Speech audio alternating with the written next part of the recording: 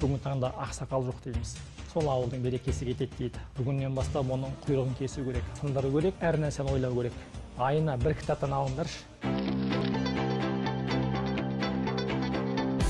Кемеліне жеткен ақылы толысқан әр нәрсені дұрыс шешім қабылдай білетін ә, рухани түрде дамыған даналықтың үлкен өнегесіне жеткен тұлғаны айтамыз.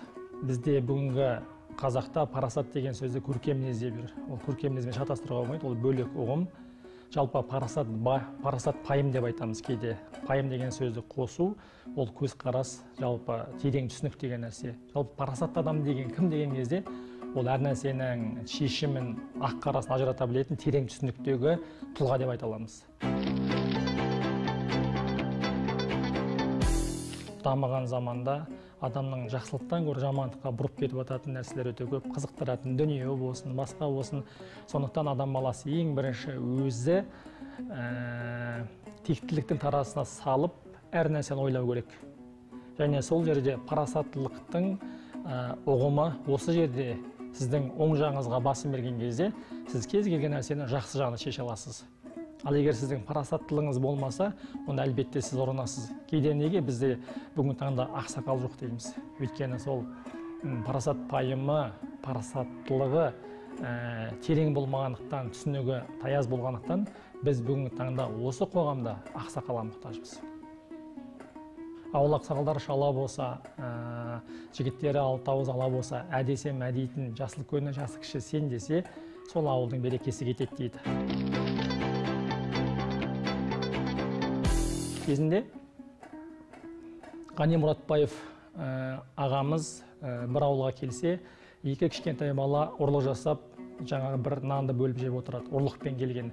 Сонда екі баланы қолынан жетектеп ата анасы қайтыс болған екі жас баланы барып әлихан бөкейханға барады ғой. Сонда әлихан бөкейхан сол екі баланың болашақта үлкен ғалым болуына себепкер болған екен.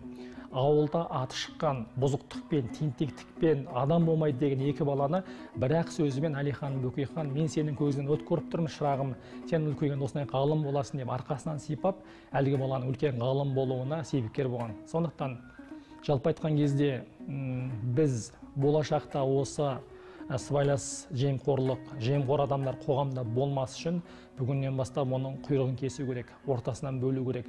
Ол үшін мына келе жатқан ұрпағымызды жақсылыққа тәрбиелеуіміз керек. Ол үшін бағана ұстаздарды арнайы қосымша оқу курстарынан өткізе отырып оларды иманды парасатты дана адамға тәрбиелеп шығаруымыз керек. Кез келген жеңістің артында ең бірінші алланың сәттілігі екінші сіздің жақсы ниетіңіз үшінші еңбек еңбек еңбек. Мәселен мен өз басымды алатын болсақ мәселен аптасына үш рет жаттығу жасаған болса менімен қатар спортшылар мен аптасына он үш рет жаттығу жасадым. Таңертең олар екі сағат жаттықса мен төрт сағат жаттықтым. Кешке олар екі сағат жаттықса мен үш сағат жаттықтым. Жалпы сол еңбектің арқасында ғана озуға болады екен. Сондықтан мен жеңіске жету үшін ең бірінші өзіңнің нәпсіңді жеңу керек. Екінші мына өзіңнің жалқаулығыңды сындыру керек. Үшінші сол өзіңнің нәтиже шығаратын жеріңде мәселен спорт зал білім ғылымның айналасында жүру керек. Сол кезде нәтиже болады.